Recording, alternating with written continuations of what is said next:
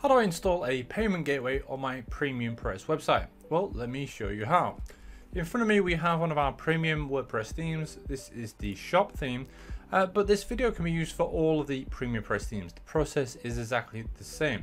So the first thing we do is log into the admin area.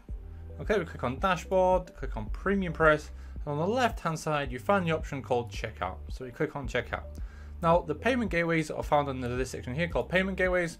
As you can see in front of me, I have a number of these already installed. Now this might look different on your website and it's because I've already installed plugins. So let me go and show you how to add more plugins to your own website. So the first thing I do is I want to find new plugins. So got this option at the top, find more plugins, and this will take you to the PremiumPress website. And here you can see all of the payment gateway plugins we have. We have absolutely loads. So there's options for you for every website you need. Okay, so find the uh, plugin that you want to use. Uh, you can go on to, for example, here we've got Stripe, just click on Stripe. Uh, make sure you're logged into your members area because plugins are free for members only, and then just download the plugin.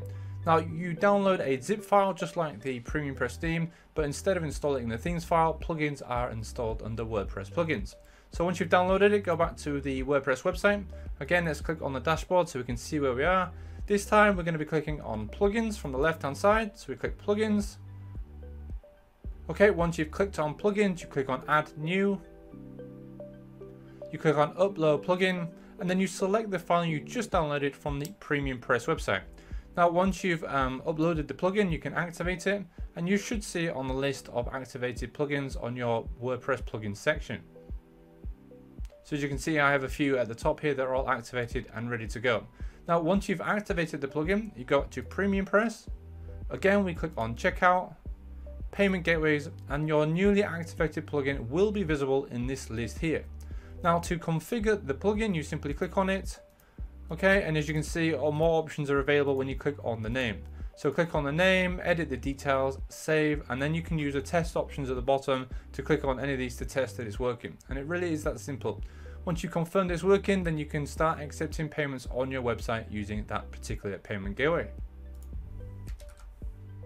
So there we go, a very, very quick tutorial about how to install one of the PremiumPress Payment Gateway plugins.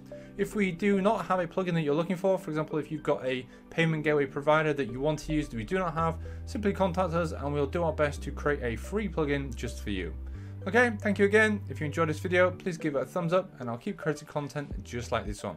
Take care and I'll see you in the next video. Bye for now.